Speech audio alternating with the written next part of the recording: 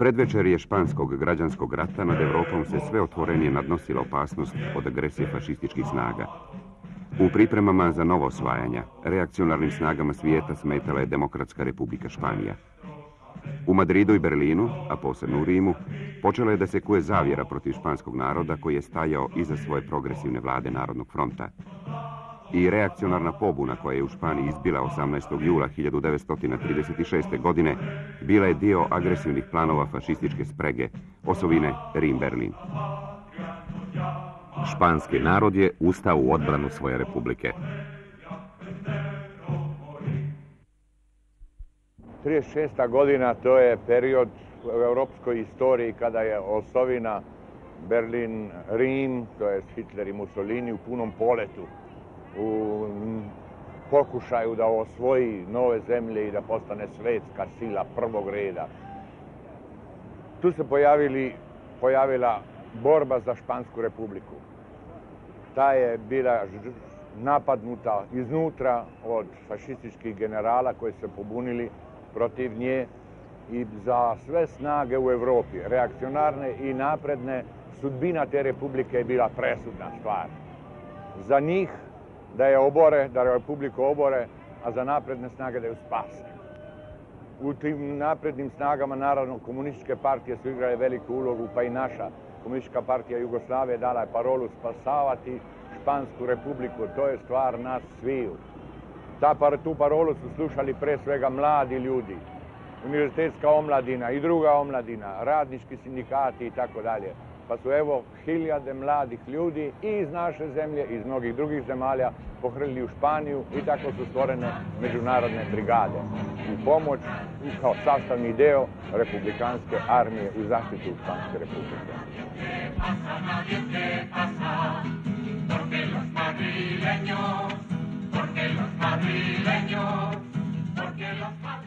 Na poziv partije i svih krajeva Jugoslavije, kao i mnogih zemalja širom svijeta, u kojima je bilo naših ljudi, pošlo je u Španiju oko 1600 radnika, studenata, intelektualaca i drugih. Otišli su u Španiju sa istim žarom, zanosom i oduševljenjem, kao i progresivni ljudi iz 55 zemalja sa svih kontinenta.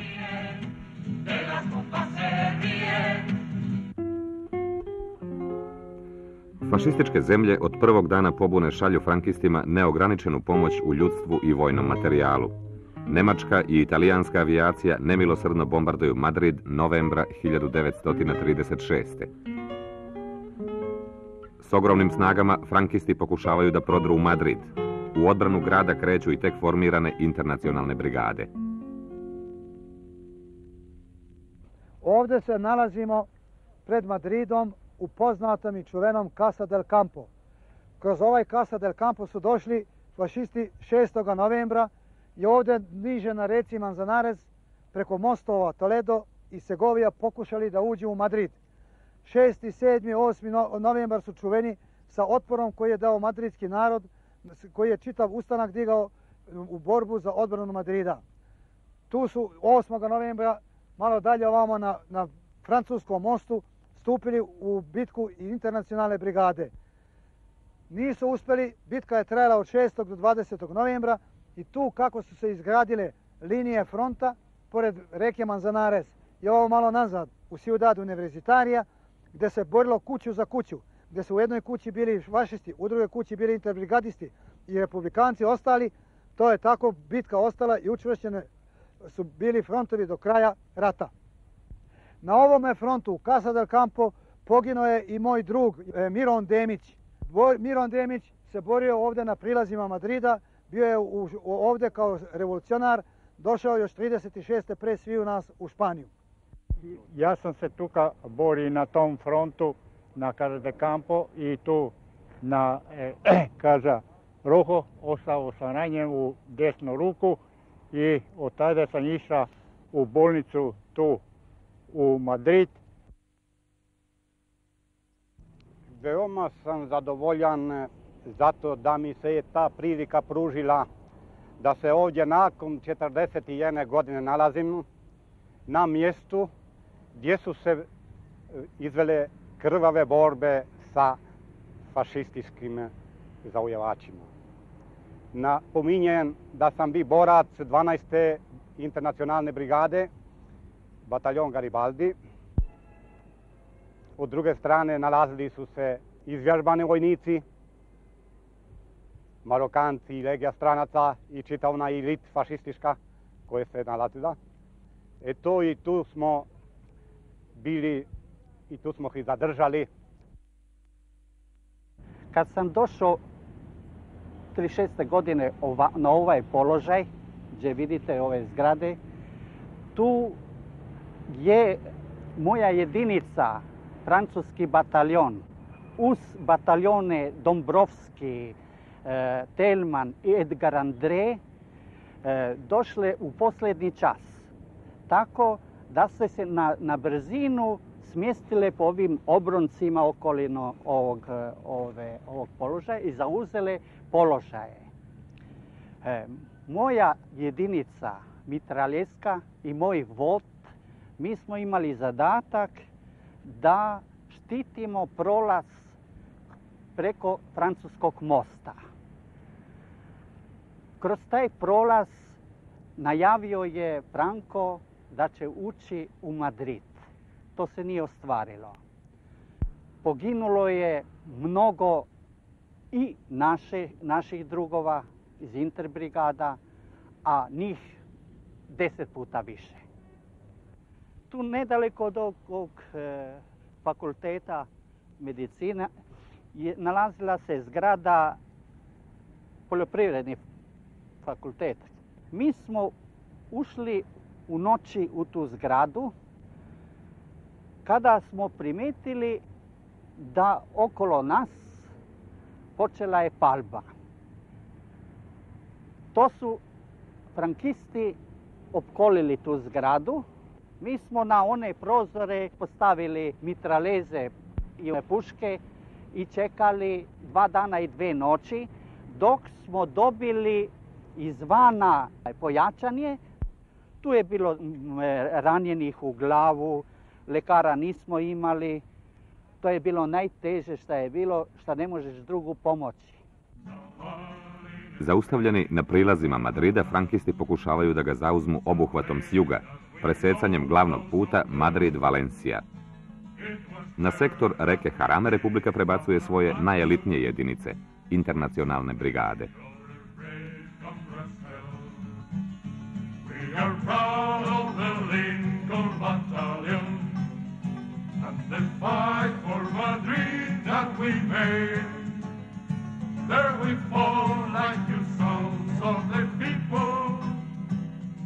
Mi smo drugovi i drugarice došli ovdje na front Harama 12. februara 1937. godine.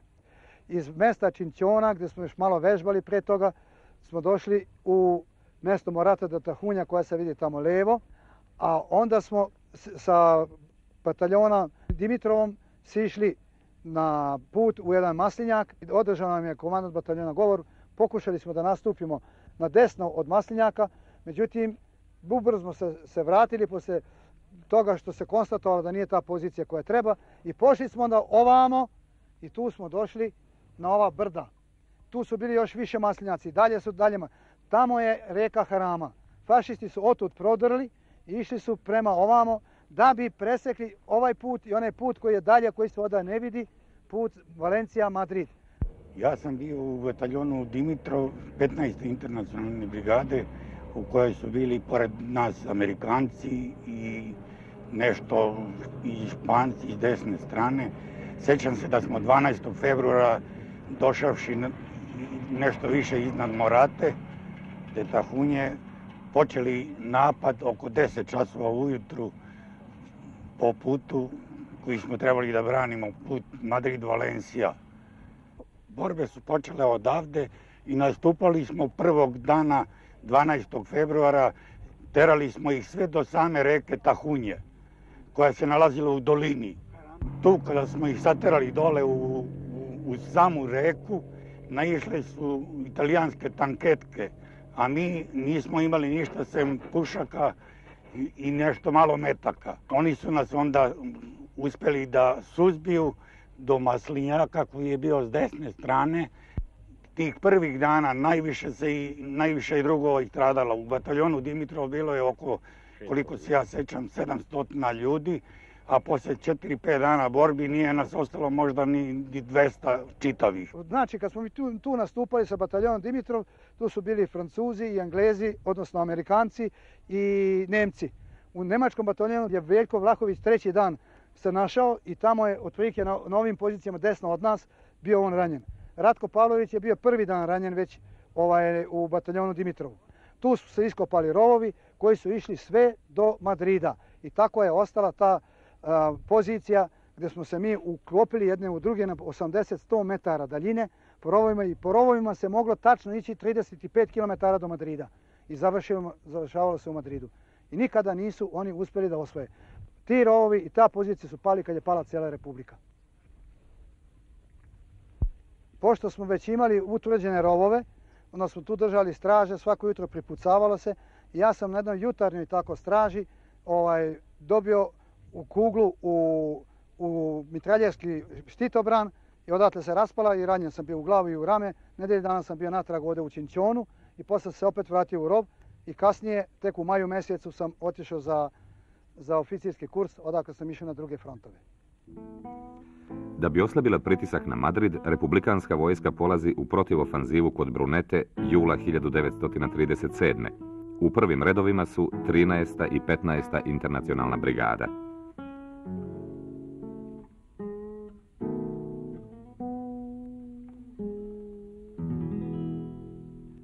I posle 40 godina oko Brunete još stoje frankistički bunkeri.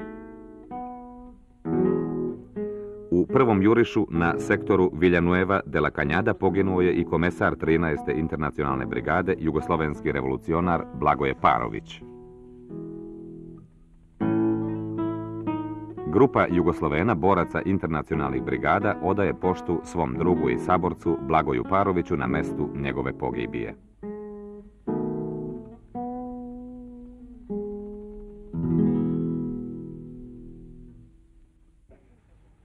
Brunete je bio prvi front na kome sam ja učestvovao.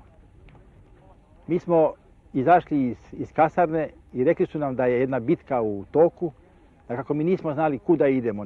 Kad smo, kad smo došli na front, Brunetska bitka je bila već u punom jeku. Mi smo zauzeli poziciju naše baterije i otvorili smo vatru. I glavni, u stvari, neprijatelj je bila avijacija. Nad našim glavama su se vodile najveće avijatičke borbe do tog vremena u Španskom ratu. Sjećam se da su e, fašistički piloti padali, padali na, na našu stranu od artiljerije ove, republikanske. I sjećam se da smo spasili dva pilota Njemačka koje je narod htio da linčuje. Mi smo ih stavili na kamion i vozili ih u Escorial u vojnu komandu. Poslije e, borbi na Brunete mi smo bili premješteni na južne frontove gdje su isto tako internacionalne brigade učestvovali, ali više, više artiljerijske jedinice nego, nego ove, ove brigade pješadije, jer su bile dole na, u Estremaduri i Andaluziji španske jedinice u kojima smo mi, kojima smo mi bili kao artiljerija dodijeljeni. I mi smo u stvari, ja sam u stvari posle Brunete čitav rat proveo na, ju, na južnom frontu u, u Estremaduri i u Andaluziji. U Aragonu, uprkos izuzetno jakih frankističkih snaga, republikanci pokušavaju da osvoje Saragosu. Na dva najveća frankistička uporišta, Kinto i Belčite, jurišaju interbrigade.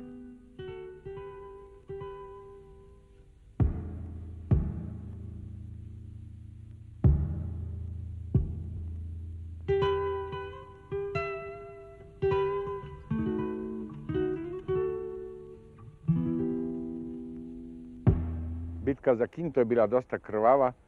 Kinto je branio pre svega Toren i mitraljeska gnezda fašistička u Zvoniku. Odatle su nas šišali cijelo vreme, pa smo mi onda jurišali na tu crkvu, pucali na nju iz uh, antitenkovskog topa i tako dalje.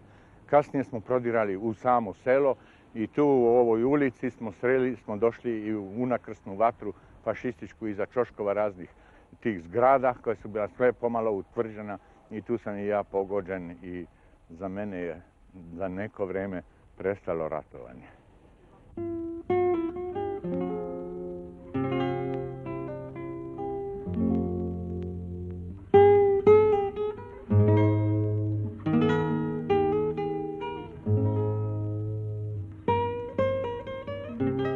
Deca Španije u vreme građanskog rata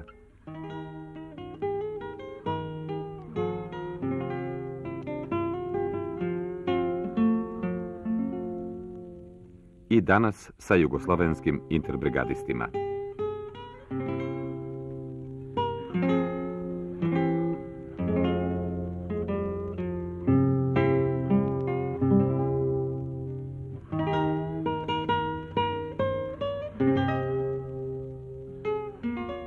Mi smo došli na Belčite posle oslobođenja Kinta, posle par dana odmora, dva, tri dana odmora, smo došli do prilaznih e, položaja na Belčitu i vidjeli smo da je Belčite bilo stvarno tada već okruženo sa našim jedinicama koje su već 8 do 12 dana tamo oko Belčita vodile vrlo teške borbe zbog toga što Belčite sam bio dosta utvrđen. Mi smo prilazili ovaj nekim e, e, kanalima, nekim rovovima koji su iskopale vode prije, ali je svaka tva, ta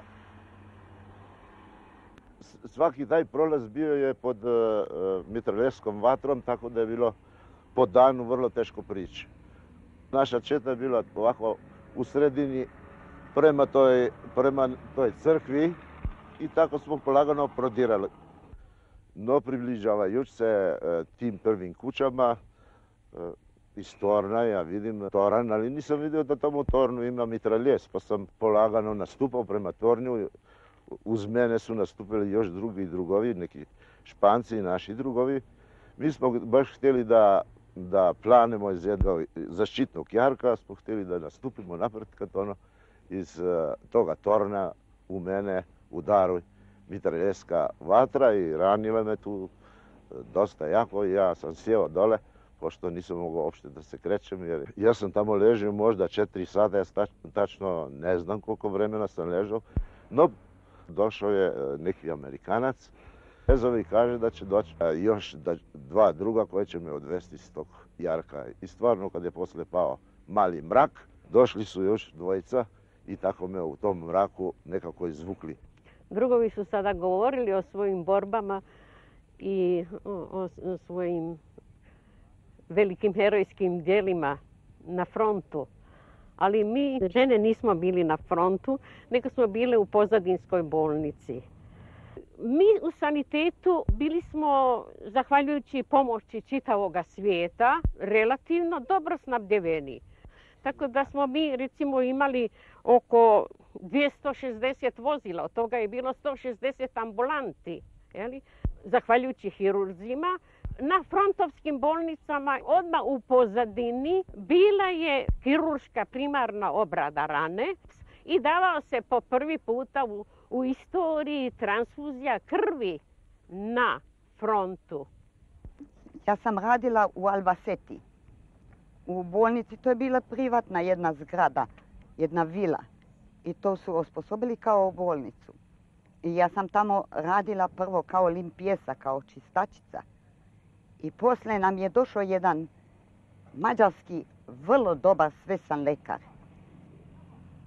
I on je nas naučio kako treba da se radi, kako treba da organizujemo tu bolnicu. Njemu mnogo zahvaljujemo što smo mi mogli e, poslije da pomognemo kako treba. Na Teruelu su bile velike borbe. I mi smo dobili gotovo španske borce koji nisu imali ni cipela na nogama, nego aspargate. I oni su imali mokre noge, oni su gazili neku vodu i došli su smrznutih noga. Mi, oni su bili operisani u jednoj vili blizu mene i posle operacije ja sam ih sve primila. I tu sam ih lečila na... Ja sam jedan put nešto počitala, znate, da se rana bolje leči kad nije tako zamotana. E, to smo iskoristili u Foči kad su došli ima, imanci. Ja sam došla u Španiju sa grupom praških studenata. U to vrijeme bila sam student medicine druge godine. U Španiju sam stigla preko Albacete gdje je bio centar servis sanitera. Tu, svako je tu dobio odmah raspored, ja sam bila raspoređena u Murciju. U Murciji sam radila u bolnici takozvana univerzitat. Tako se zvala zato što je ovaj, svega toga tu bio univerzitet. To je bila velika bolnica i od Jugoslovenki tu smo radile doktorka Adela i ja. Ja sam radila kao bolničarka. Imali smo jako teške ranjenike. Ljudi su gubili ruke, noge, ali čini mi se najteži utisak, a najteže i njima bilo onima koji su bili ranjeni u glavu.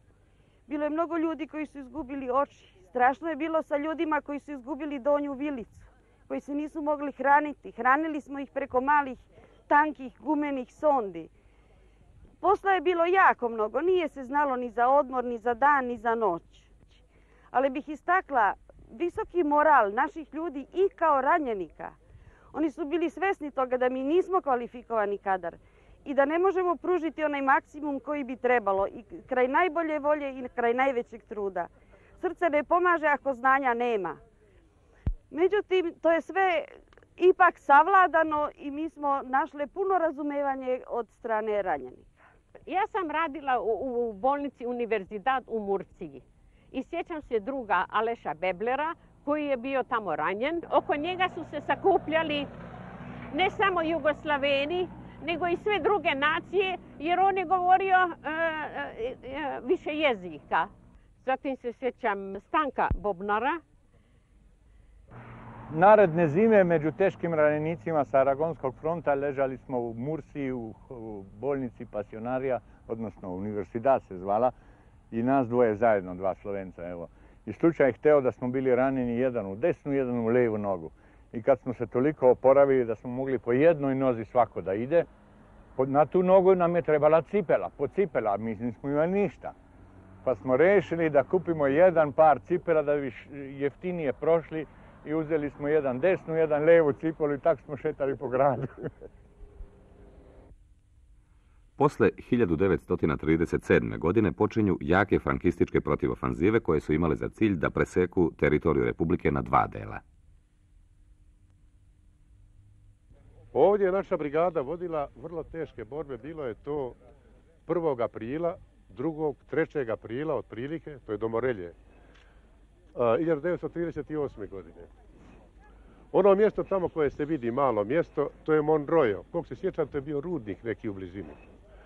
Mi smo trebali da zasjedemo na toj cesti, da je osedlamo, jer je neprijatelj išao ovako prema nama, ovom cestom, jer je htio da izbije sa velikim snagama, da se probije do Vinarosa i da podijeli naše snage u Španiji na dva dijela. 1. aprila po noći mi nismo imali vremena niti da osmotrimo položaje, stigli smo nešto prije zore na položaje, i nekako izjutra već bilo je osvanulo, lijepo, bio je vedar, sunčan dan, vatre nije bilo. Već smo mislili da, da neće biti borbe. Tek negde oko blizu 8 sati je možda moglo biti, odjedan put je počela uraganska vatra. Počela artiljerijska vatra, nas su tukli ovaj šrapnelima prvo, a mi nismo znali o čemu se radi. Jer kako je eksplodio onaj šrapnel, vidimo crveni dim, žuti dim, plavi dim, drugo je sigurno toga sjećaju. Mi smo se držali gore, odjedan put došla je komanda da se moramo hitno povlačiti. Šta je bilo? Neprijatelj je već bio počeo zalaziti nama iza leđa. Mi smo bili na jednom čuviku sa teškim mitraljezom, ja sam bio onda kod teškog mitraljeza zajedno sa Dmitrijom Koturovićem, to je bio on najhrabriji naših drugova. Onda smo prosto morali baciti onaj mitraljez, imao 64 kila, bio jako težak, jer ga nismo inače nikako mogli drugačije spustiti sa jedne litice. S desne strane pojavili se odjedan put tri druga. Bili su blizu nas, to je bio Fadil Jahić i Korošec. Korošec je bio do rudar, jedan naš divan jedan drug, mislim da je u Trbovlju radio prije rata. I nosili su između sebe jednog našeg druga, Savo Krkljuša, kojeg smo mi mnogo voljeli, bio mnogo stariji od nas. Bio opačarski radnik, radio u Belgiji. Savo je bio ranjen jednim rafalom, bio ranjen tu preko, preko stomaka. Međutim, fašisti su toli, tako brzo išli, htjeli su ih žive uvatiti, jer nisu pucali na njih. I vidjeli smo te fašiste. Mi smo otvorili vatru odavde, malo su oni stali. Međutim, Sava Krkljuš je uzeo, molio je drugove da, da, da ga ostave. Drugovi nisu htjeli da ga ostave. Onda je uzeo bombu i udario o kundak jednog od, od, puške od jednog od drugova. Rekao drugovi, idite, viknuo, živjela partija i pozdravite mi brata Slavka. A Slavko je bio isto tako u našem bataljonu Đakovića. I samo se čula eksplozija, bacio je bombu. Pod nas je u stvari legao na bombu i tako je tu ostao. Jedan od mojih divnih drugova, mi smo ga svi jako mnogo voljeli, Aco Bogdanović, bio je vrlo lijep čovjek. Bio je tehničar, jako je lijepo pjevao i svirao je na gitaru. Onako od prvog susreta meni je izgledao, tako mi se činilo kao da se poznajemo od rođenja. On je prema svakom bio takav. On se izvukao sa, bio je komandir odelenja sa svojim teškim mitraljezom, nisu bili u toj mitraljerskoj četvi. Međutim, kad se izvukao svojim drugovima, odjedan put se sjetio da mu je ranac ostao na položaju. A fašisti su već bili kod rovova. I onda je on zamolio da ga drži, podržavamo vatrom, otišao je napred i radi partijske knjižice koja mu je bila u tome rancu, on se vratio nazad i tu je kod partijske svoje knjižice poginao. Eto, to je bio naš Ata Bogdanović.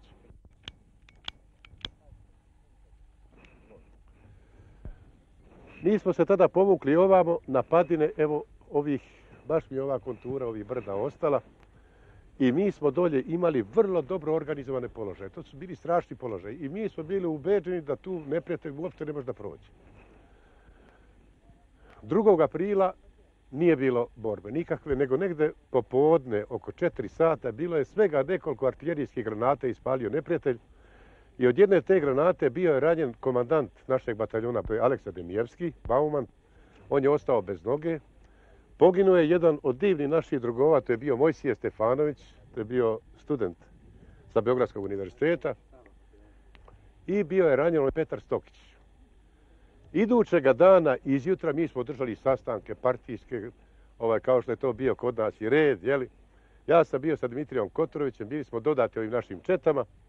Položaj sjajni, moramo se držati. Počela je vatra rano.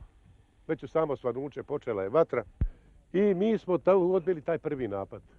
Međutim, šta se nama desilo? Desilo se je to jedan put da smo mi dobili vatru gore u tebe u, u robave. I radilo se o tome da su oni izbili tu fašisti gdje je bio bataljon Masarika, zauzeli su te položaje, bataljon Masarika se naglo povukao na onu stranu, a mi smo ostali dolje prosto u mišljoj rupi. I došlo je naređenje da se brzo i da se hitno povlačimo. Ovdje gore kada smo išli, izašli na cestu, bio sam sa Koturovićem, izvukli su naš teški mitraljes, i sa nama je bio jedan drug koga smo mi svi poznavali, voljeli smo ga, voljeli da pjeva. Zvali smo ga Ramona, te Ivanović se on zvao. I tada nam je rekao, kad danas nisam poginuo, kad sam se danas izvukao, mislim da neću ni poginuti. I kada smo izašli tu gore, i kad je on to rekao, jedan put su se pojavili avioni, vidite, ispod ovih brda. Mi smo se bacili, ja i Kotur, desno ovako od ceste. On je ostao da leži na cesti i bomba je pravo pala na njega. I od Ramone ništa nije ostalo. E, odatle drugo je mislo, to je već bilo treći, bio je treći april, tu je jako mnogo naših drugova izginulo. Onda smo se povlačili prema Morelji. Tu sam došao sa 129. brigadom, tu su bila tri bataljona, Dimitrov, Đure, Đaković i Masarik. Tu smo mi kao udarna brigada trebali zatvoriti Frankovim trupama uh, da ne idu prema Valenciji. Međutim, kao prekjučer su dvojica iz moga mesta, Branko Mance i Bertaglin, e, poginuli, a dva dana posle je poginuo i moj brat Roko. I prema pričanju od drugova od bataljona Đure Đaković, da je moj brat sa teškim maksimum držao ostupnicu i poslije ga više nisam vidio tako da je moj brat ostao tu na Morelji i još druga dvojica.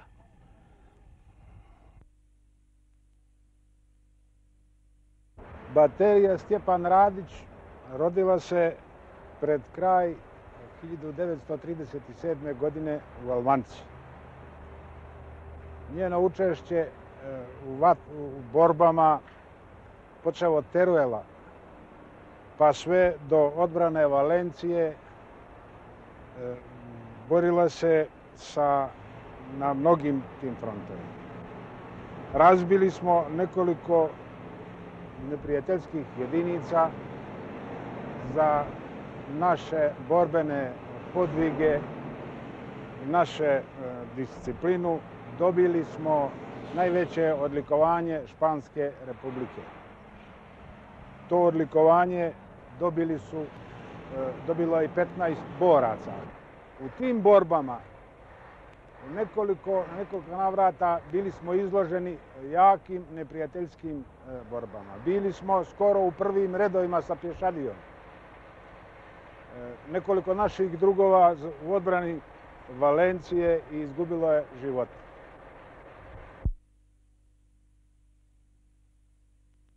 Kad smo već ovdje kod Teruela, možda ne bi bilo loše da vam ispričam jedan događaj negdje početkom 38. godine u bitki za Teruel na poziciju naše baterije došao je poznati pisac Hemingway. Pošto se nije smelo doći na artilerijsko mesto bez dozvole ministarstva rata, Hemingway nije imao to, a znao je, jer ga je Vladimir Šopić, komandant 15. brigade, poslao u našu bateriju, danas tamo snim. E, obzirom da nije imao dozvolu, straža mi je javila da je došao jedan sa nekim fotoreporterom i snima poziciju naše baterije. Ja sam ga dao odmah uhapsiti. Pa nije hteo kazati ko je. Tako da sam ja preko telefona pitao Čopića zbog čega šalješ meni ljude da snima, a znaš da se ne smije da snima ni fotografiše e, e, naša, naši položaji. Pa kaže, znaš ti ko je to?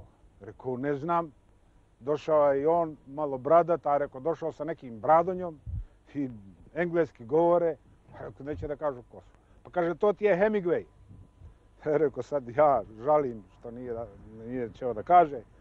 I na osnovu toga ja sam i njegove, iz njegovih filmove sve poslao u korpus.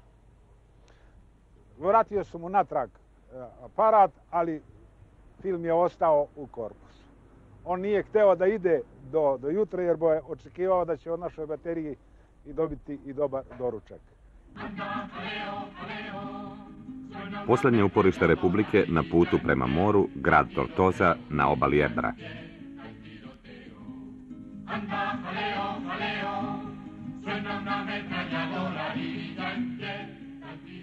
Mi smo, mi smo ovdje bili od aprila mjeseca. Aprila kada su fašisti probili ovaj Aragonski front i naša jedinica ovdje je zaustavila njihovo prodiranje dalje. Oni su zadržali s one strane, tamo ovaj fabrički, odnosno industrijski deo grada, a mi smo zadržali ovaj deo grada, ekonomski ovdje jači. Tu, tu je bila, kako da vam kažem, sve razrušeno. Razrušeno kad smo ovaj, zauzeli, jer su oni prethodno već bombardovali, strašno bombardovali, su odseći naš ostupnice. I od aprila mjeseca ja sam bio dva maha ovdje. Posle velike, velikoga fašističkog prodora koji je imao za cilj za razdvajanje Španije, to je bilo negdje u aprilu mjesecu, tada je formiran bataljon divizionario. Bataljon divizionario je bio specijalni bataljon 45. divizije kao udarni bataljon u kome su bili Jugoslaveni novo prispjeli kao i oni koji su došli poslije povlačenja sa Aragona. E, ja sam bio onda ovdje ovaj, e, vođa jednog pelotona što se zove deseta, desetica, jednog, jednog mitraljeskog odelenja. Zidovi su postojali, ali vojnici, odnosno mi nismo mogli nikako postaviti mitraljeze, to, to je pokazao nekako veliku tačku za, za, za, za neprijatelja. Pa smo bili prinuđeni da gradimo gradimo betonsku gnjezdu i jedno smo izgradili, samo jedno, to smo mi Jugosloveni izgradili, to sam bio ja, e, e, Ugargović Grga, Zagrebčan, e, Stolarski radnik i Matašić Dane. Dane, nas trojica smo izgradili tu gnjezdu. Pašići su se probili tako da smo u tom momentu imali zadatak da onemogućimo danje prodiranje fašističkih snaga i naše su pozicije bile sa lijeve strane Ebra, dok su s druge strane jeli, bili fašisti. Fašisti su u stvari e, imali zadatak da stalno tuku ovo utvrđenje koje je dominiralo sa ovim pozicijama.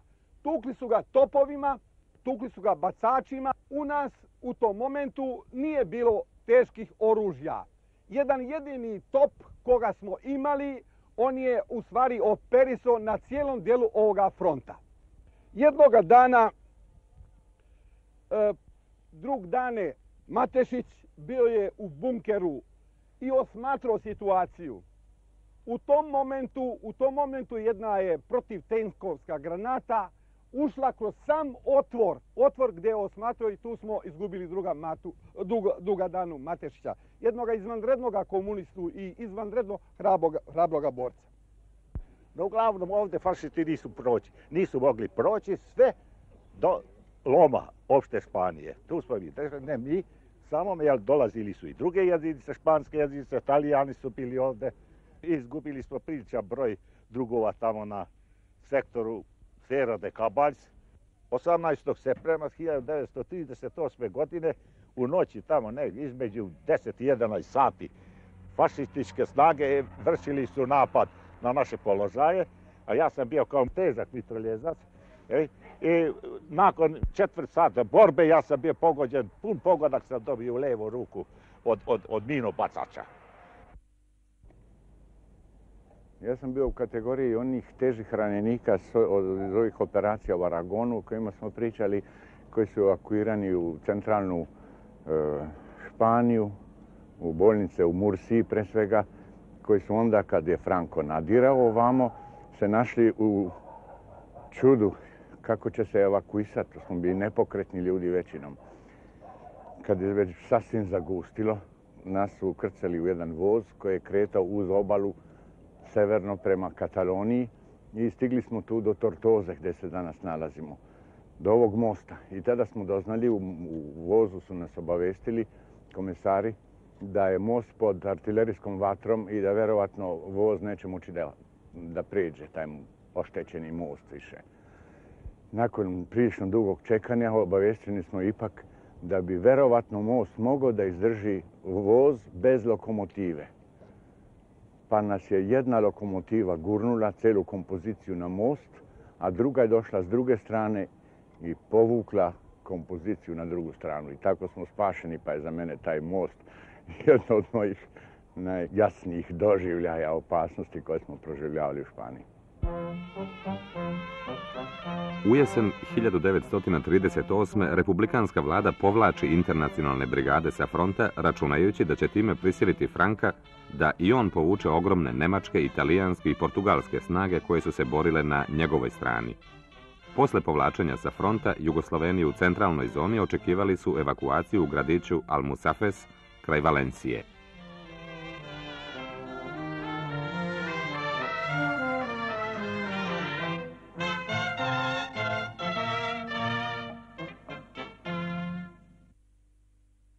Posle povlačenja sa fronta zadržali smo se u Valenciji nedelju dana i e, radi bombardovanja Valencije mi smo prebačeni ovdje u ovo selo i kad smo došli u selo raspoređeni smo bili za stanovanje po selu i u školi. Međutim, e, u selu se isto dugo nismo mogli zadržavati, pa smo ovaj magacin ovdje iza nas preuredili za smeštaj naših drugova i tu smo se preselili čim smo uredili palače i slamarice doneli, postavili i ostalo što je bilo potrebno za smještaj. U gradu smo imali e, upravu, odnosno komandu, gdje smo e, uglavnom se zadržavali i rješavali sve probleme koji su stajali u vezi s nama. A samo smo ovdje spavali i kuhinju smo imali za ishranu. Na ovom mjestu 1938. krajem decembra ja sam doživio jedan za mene najsvečaniji moment kada sam primjen u komunističku partiju Španije. Tada je bio sekretar ćelije drug e, Vlado Rončević, a u mojoj ćeliji je bio drug Marko Orešković i Ratko Palović. To je bilo ovdje u ovim e, naranđu, u naranđima. I mi smo tu znali održavati sastanke po ćelijama kako je onda bilo praktikovano i sprovođeno. Bilo je vrijeme dosta prijatno i lepo pa se moglo koristiti i održavati sastanke. Marko Orešković je pričao o mojoj biografiji pa sam ga ja tom prilikom upitao kako on zna gdje sam se rodio i šta sam se e, proveo u životu. On kaže kad se o čovjeku zna, onda se zna. Ja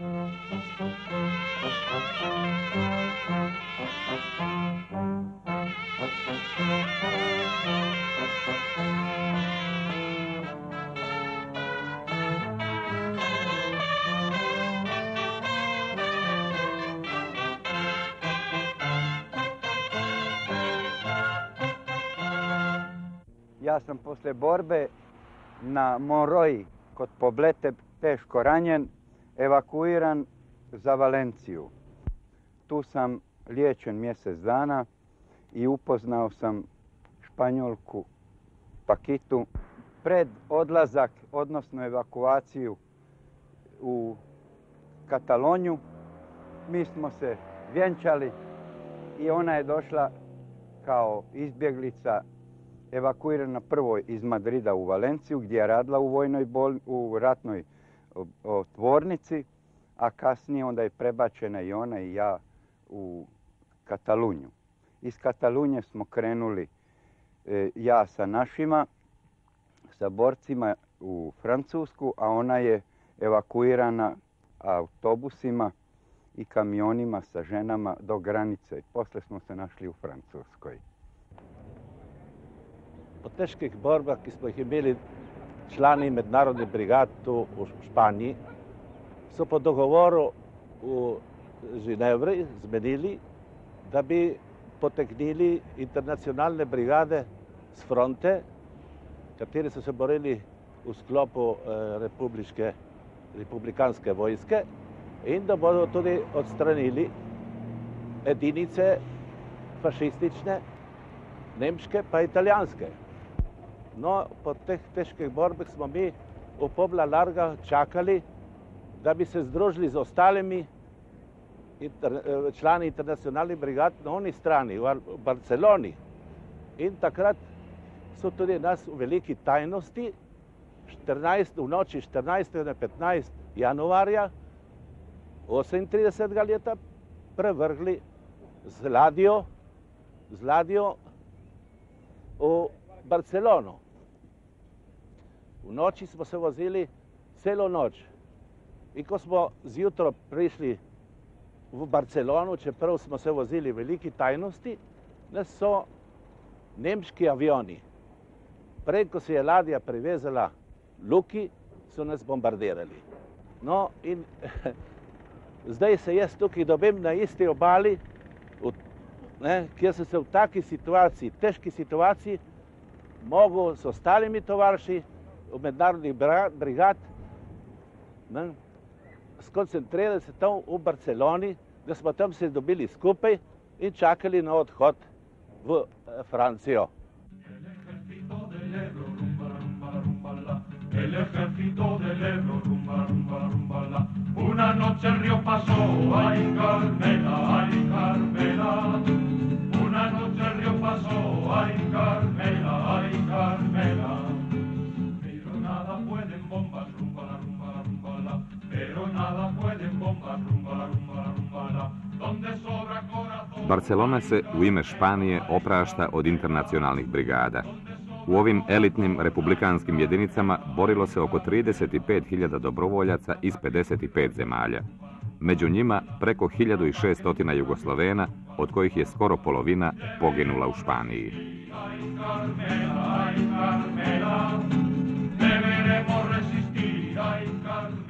Drugovi iz internacionalnih brigada. Politički državni razlozi dobrobit ove iste stvari za koju ste vi velikodušno ponudili svoju krv.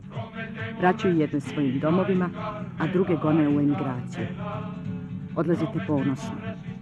Ste istorija. Vi ste legenda. Nećemo vas zaboraviti. Danas nam odlazite. Mnogi, na hiljada njih ostaju. Ostaju oni kojima je pokrov španska zemlja i uspomena prožeta dubokim osjećanjem svih španaca. Nećemo vas zaboraviti. I kada procvetale grančice mira budu upletene u venac pobede, vratite nam se. Vratite se među nas. Tu ćete naći domovinu svi vi koji je nemate.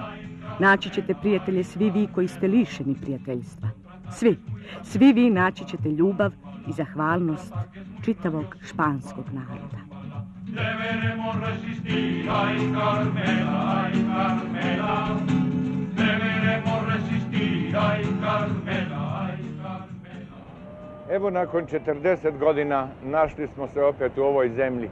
U zemlji gdje smo se borili, gdje smo krvarili, gdje smo ostavili mnoge svoje drage drugove za uvek. Bilo je potresno gledati mesta gdje smo, gdje smo se borili, gdje, smo, gdje su nam padali drugovi levo i desno, gdje ih je toliko ostalo za uvek.